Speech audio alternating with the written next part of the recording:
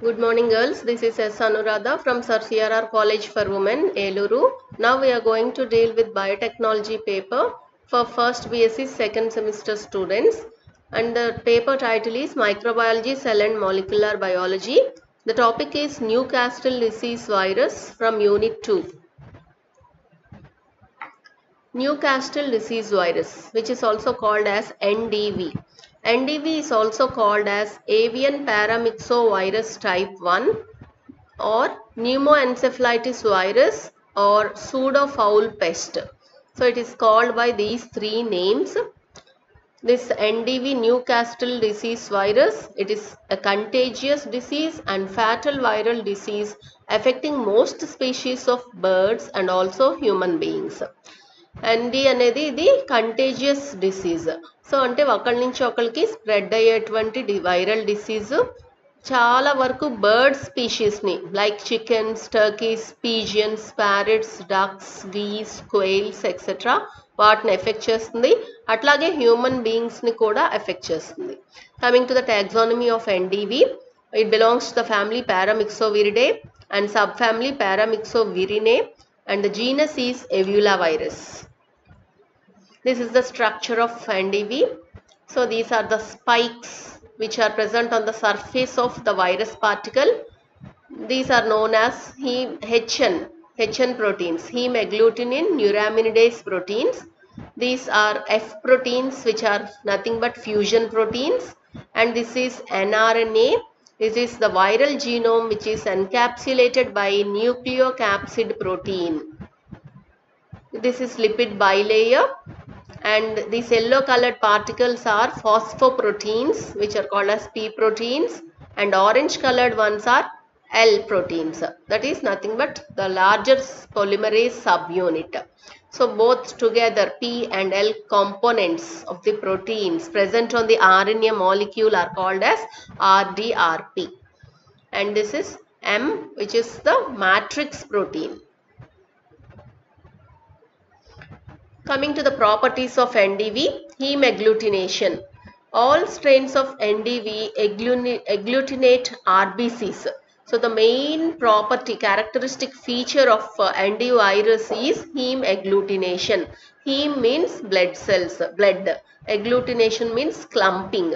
So heme agglutination is clumping of red blood cells is called heme agglutination. So all strains of NDV, they their main characteristic feature is agglutination of RBCs. And blood cells ni clump chetam most strains they agglutinate uh, RBCs of ox and sheep. Horse RBCs are agglutinated by lentogenic strain and NDV cause heme adsorption. So adsorption means attachment of heme blood cells. Next and so మనం హీమెగ్లూటినేషన్ అనేది NDV యొక్క characteristic feature అని చెప్పుకున్నాం.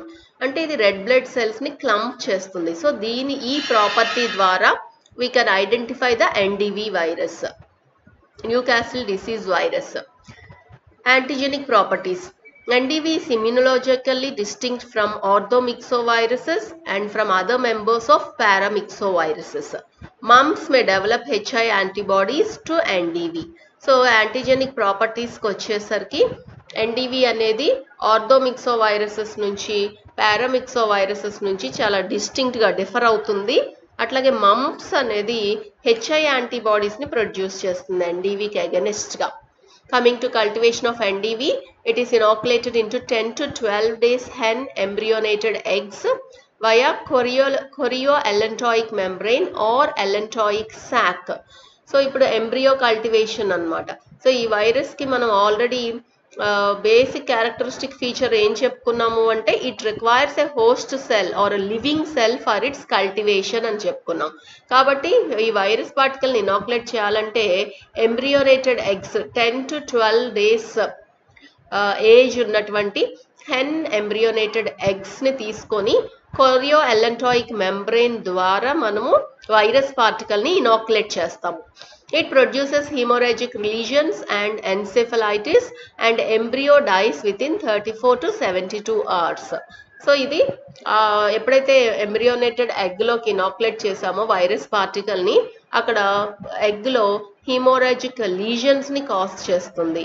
అట్లాగే ఎన్సెఫలైటిస్ని cause చేసి ఆ embryo అనేది thirty four to seventy two అవర్స్లో కిల్ అయిపోతుంది. NDV grows well in chicken embryo fibroblast cell culture also. And the titre అంటే గ్రోత్ని టైటర్ వాల్యూస్ అని చెప్తాం అనమాట వైరస్ యొక్క గ్రోత్ని టైటర్స్లో మెషర్ చేస్తాం. సో మాక్సిమం గ్రోత్ ఎప్పుడు వస్తుంది అంటే twenty four to thirty six hours తర్వాత ఇనాక్యులేషన్ తర్వాత మనకి maximum growth of the virus అనేది అప్టైన్ అవుతుంది. titer of the virus in tissue culture is 1 log lower than that in the embryonated egg.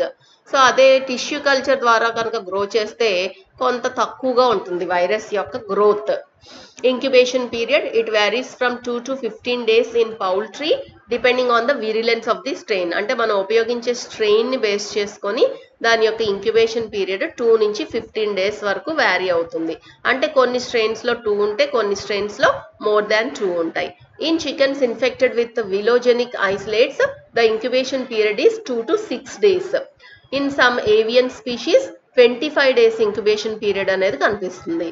Coming to pathogenesis the virus replicates in the mucosa of the upper respiratory and intestinal tracts so virus particle అనేది upper respiratory ట్రాక్లో upper intestinal ట్రాక్లో మ్యూకోసాలో replication అనేది జరుపుకుంటుంది.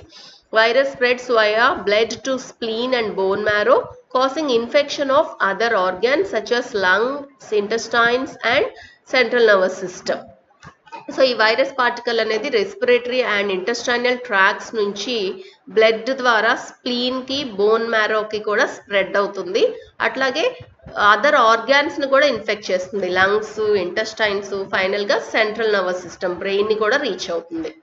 Immune response against NDV antibody production అనేది ర్యాపిడ్గా ఉంటుంది ఈ వైరస్కి హెచ్ఐ యాంటీబాడీ అనేది ప్రొడ్యూస్ చేస్తుందని చెప్పుకున్నాం కదా. సో ఈ హెచ్ఐ యాంటీబాడీని ఇన్ఫెక్షన్ వచ్చిన ఫోర్ టు సిక్స్ డేస్ తర్వాత మనం డిటెక్ట్ చేయగలుగుతాం.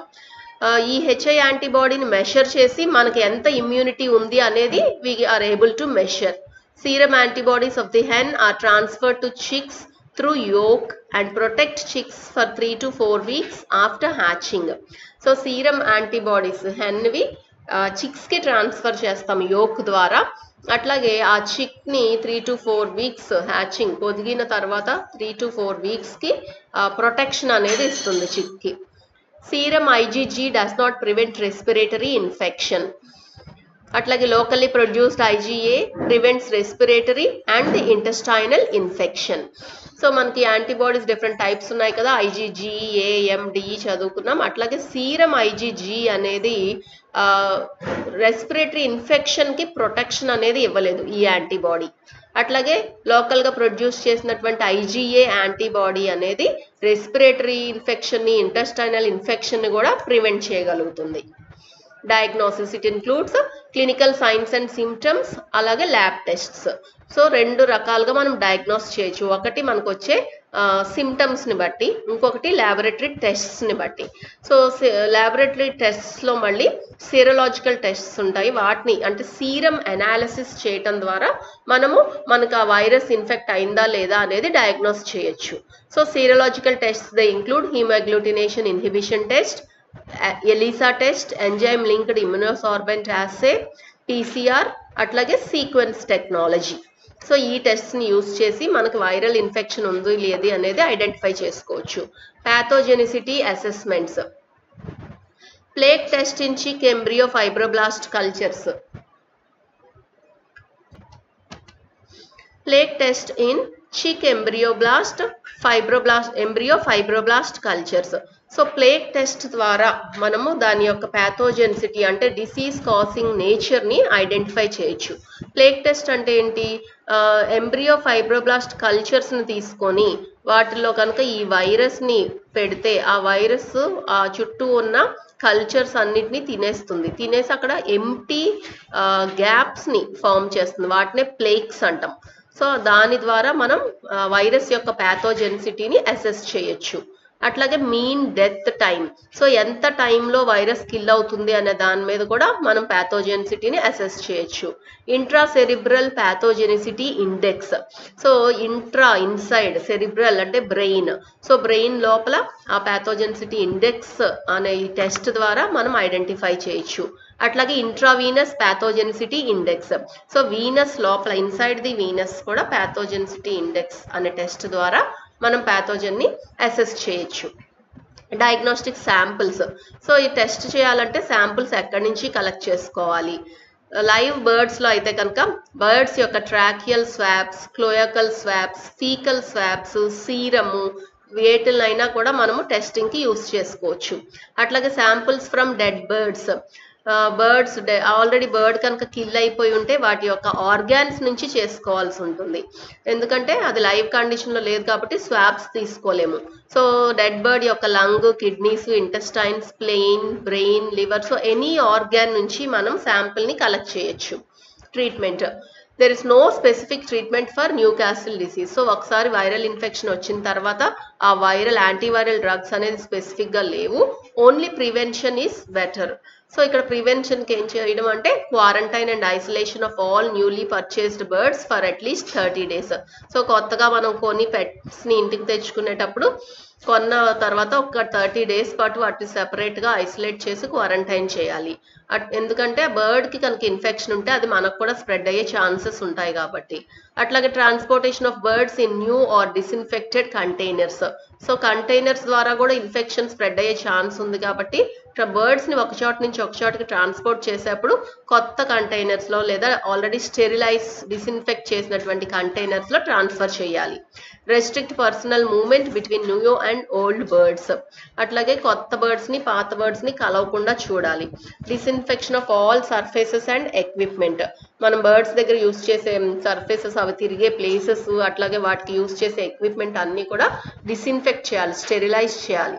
Disposal of any destroyed birds and contaminated products birds కనుక ఏమన్నా డిసీజ్ ఉన్నవి అన్నప్పుడు వాటిని డిస్పోజ్ చేసేయాలి.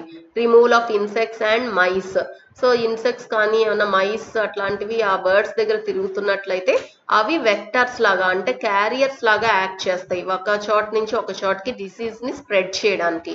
సో అందుకనే అట్లాంటి ఇన్సెక్ట్స్ని మైస్ని మైస్ని రిమూవ్ చేసేయాలి బర్డ్స్ నుంచి.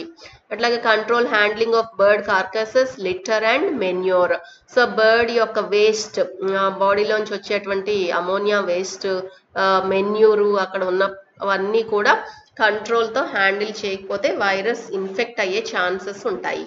Vaccination vaccines are administered at two to four weeks of age or at one day of age via conjunctival instillation so vaccine బర్డ్కి ఇవ్వాలన్నప్పుడు bird two to four weeks age ఉన్నంత ఉన్న ఏజ్లోనే ఇచ్చేసేయాలి. లేదా conjunctival ఇన్స్టిలేషన్ అంటే bird యొక్క ఐలో కంజంక్టివాలోకి injection ఫామ్లో ఇవ్వాల్సి ఉంటుంది వ్యాక్సిన్ని vaccine induced immunity is very short lived it stays for only eight to ten weeks so మనం ఎంత వ్యాక్సినేట్ చేసినప్పటికీ కూడా బర్డ్స్కి ఇమ్యూనిటీ ఎయిట్ నుంచి టెన్ వీక్స్ వరకు మాత్రమే ఉంటుంది. ఆ తర్వాత మళ్ళీ తిరిగి వ్యాక్సిన్ ఇవ్వాల్సి ఉంటుంది. Live vaccines inactivated vaccines newplex vaccines ఇట్లాంటి డిఫరెంట్ టైప్స్ ఆఫ్ వ్యాక్సిన్స్ని వ్యాక్సినేషన్ పర్పస్కి యూస్ చేసుకోవచ్చు. So this is about the structure and characteristic features of Newcastle disease virus thank